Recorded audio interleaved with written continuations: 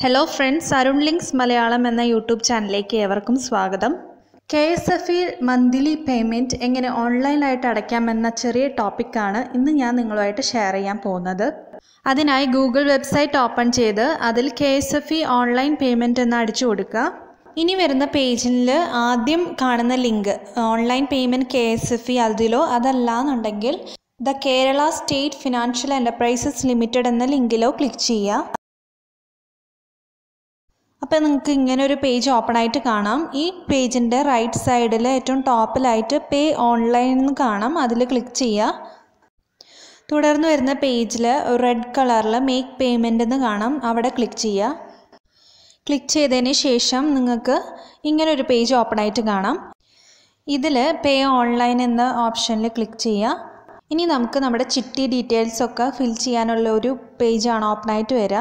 അവിടെ നമ്മുടെ ചിട്ടിയുടെ ഡീറ്റെയിൽസ് അതായത് ബ്രാഞ്ചിന്റെ നെയിം അതുപോലെ ചിട്ടി നമ്പർ ചിട്ടാൽ നമ്പർ ഇതെല്ലാം നമ്മുടെ പാസ്ബുക്കിൽ കാണാം. അതൊക്കെ ടൈപ്പ് ചെയ്ത് കൊടുക്കുക.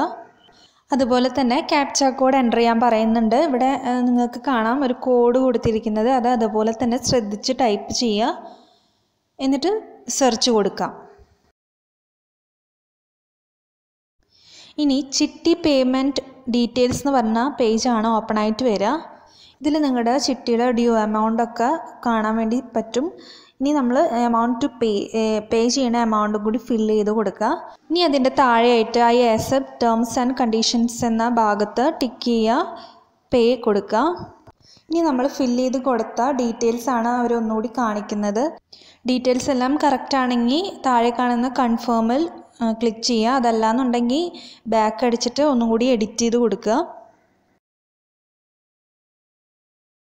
കൺഫേം ചെയ്തതിന് ശേഷം നമുക്ക് നാല് പേയ്മെന്റ് ഓപ്ഷൻസ് ആണ് തന്നിട്ടുള്ളത്.